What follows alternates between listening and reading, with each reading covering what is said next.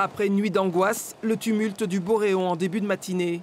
À Saint-Martin-Vésubie, le pont provisoire Maïssa a tenu, mais une partie de la route de la Colmiane n'a pas résisté. Une nouvelle fois dévastée par des flots déchaînés, le spectre de la tempête Alex plane. Ce 20 octobre 2023, c'est la tempête Aline qui est redoutée. Toujours dans la Vésubie ce matin, cette image de trois bus piégés en seulement une heure de temps. L'un des véhicules sera finalement emporté.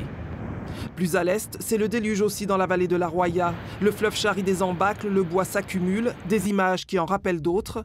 Ce matin à Tende, le passage de Bourgneuf disparaît submergé par la crue du fleuve Roya. Ici, c'est le pont Xavier Pelletier, seul accès au village en voiture qui est coupé à la circulation. Dans l'eau, le principal câble électrique qui alimente le village de Tende.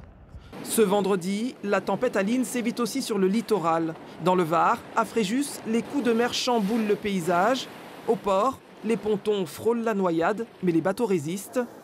Dans les Alpes-Maritimes, la route du Cap d'Antibes subit les attaques des vagues submersives. Route barrée jusqu'à nouvel ordre.